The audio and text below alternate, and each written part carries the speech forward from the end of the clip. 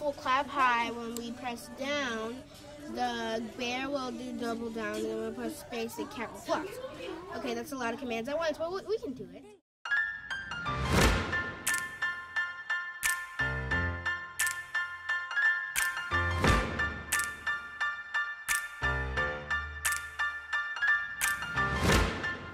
Hi, my name is Hadi Partovi, and I'm the founder and CEO of Code.org and the creator of the International Hour of Code movement. I want to welcome all of you who are participating in our professional learning.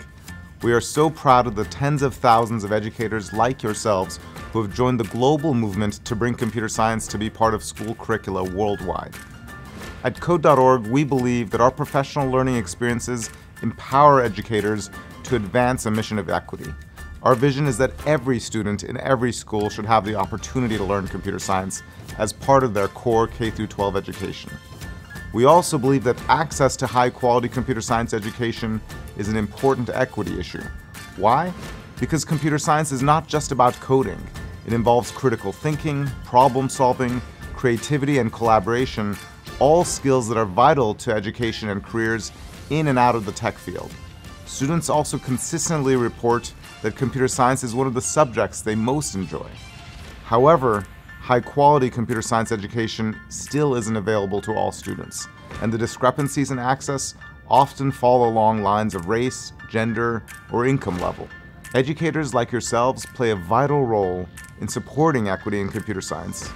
And we at Code.org have invested in building equity focused computer science curricula and professional learning experiences to support you all in this work. Thank you for being part of this movement.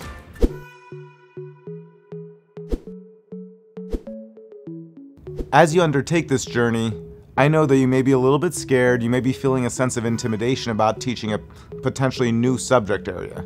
And my advice to you is to embrace that intimidation and to recognize that there are tens of thousands of teachers like yourselves doing the same thing. We believe that the best way to handle this intimidation is to be upfront with your own students about it and let them know that you're modeling how to be a lifelong learner.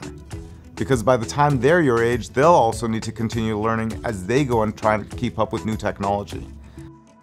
The change that's happening in America's classrooms and the embracing of computer science in the curriculum wouldn't be possible without the sacrifices of so many educators like yourselves deciding to go through workshops to learn something new overcome that intimidation, and recognize that this is important for your students. Finally, we understand that educators like yourselves come to our professional learning experiences for a wide range of reasons.